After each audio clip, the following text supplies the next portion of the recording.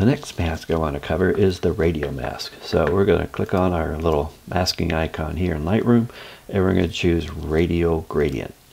Now when we choose radial gradient again we're going to get the crosshairs and we would just want to drag across the area that we want the mask to affect. All right, we can grab the center and move the mask anywhere we want.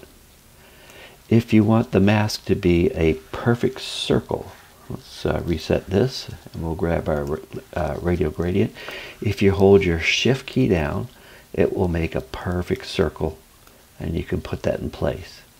If you want to adjust the size of your gradient, you just grab any one of these buttons on the edges and you make it whatever size or shape you want. If it's an oblong size and you have to change the angle, you can grab this little button here and you can change the angle.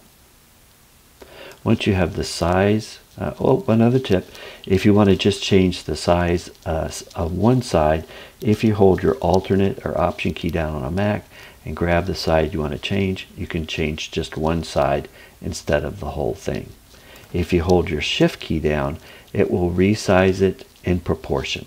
So uh, it makes the it keeps the oval shape and will uh, resize it in proportion.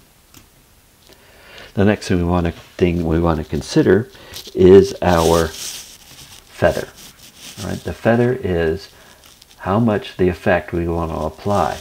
So the center of the radial gradient is 100%.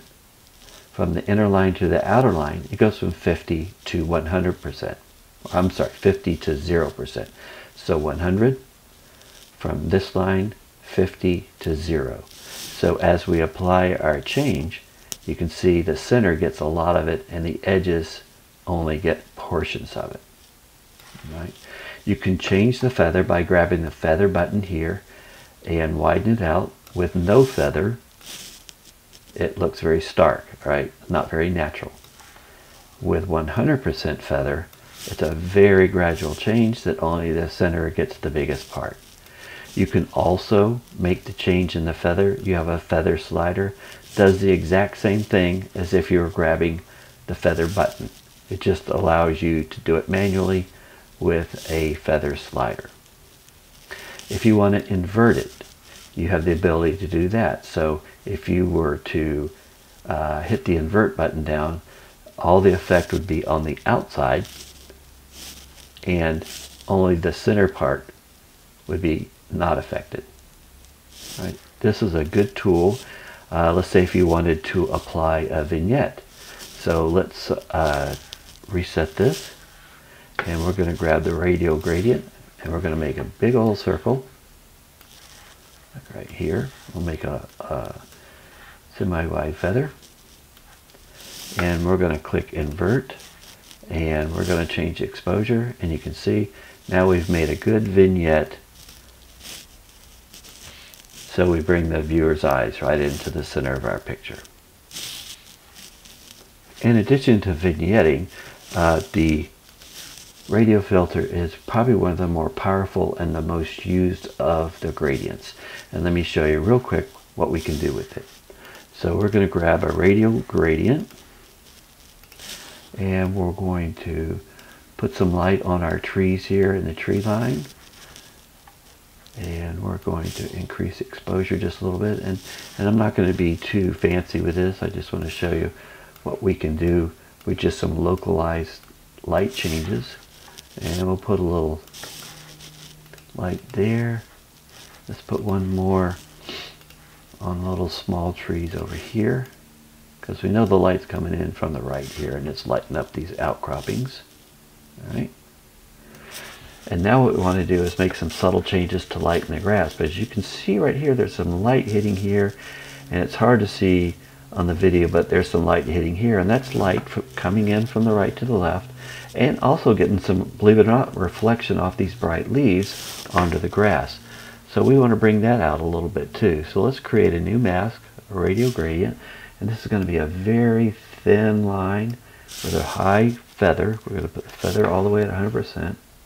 We're going to grab the very end and rotate it around. We're going to put that right there.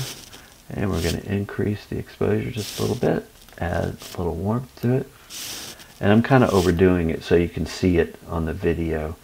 Uh, I probably wouldn't put that much in real life. All right, we're going to create another radial gradient and we're going to put it right on the edge here.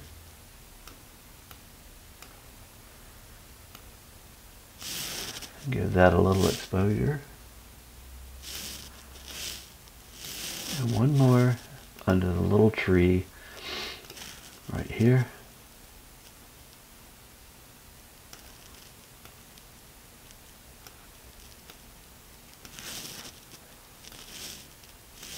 Give it a little golden light. And as you can see now we have have applied a little light. In fact, let's put one more on. Right here, the radial gradient. Right here. Give that a little light, a little more gold. So if we look at before and after, before and after, and what we did, we put one, two, three, four, five, six, seven radial gradients on, and it just made all the difference in the world on the way the light looks on this scene. So the radial gradient is very, very powerful because you can be very localized with it. And as with any of the uh, gradients that we talked about earlier, you have the amount feather, uh, amount slider right here. So we can change the amount of each particular uh, gradient. So if we wanted to change the way the light hits on the grass here, we can modify that gradient in a very minor way, just like that, or increase it. And that is how we use our radial gradients.